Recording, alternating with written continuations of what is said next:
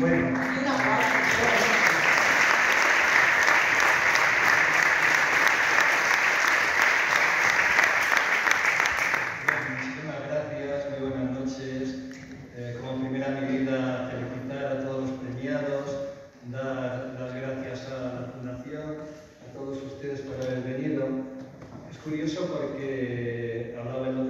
Ignacio, eh, yo acabo de cumplir 60 años, en mí será una paradoja que las apariencias engañan porque no los aparento.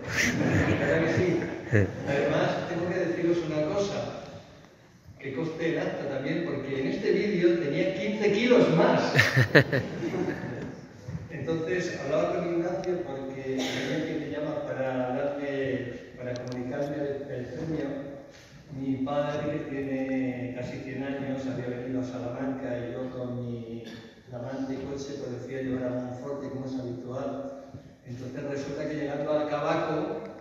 Pues, en un cambio de rasante, eh, había unos buitres que se estaban comiendo, como es lógico, a un jabalí, yo, pamba, me empotré con una bandada de buitres. Mi padre en un estado de nervios ahí, eh, digo, aquí se me muere.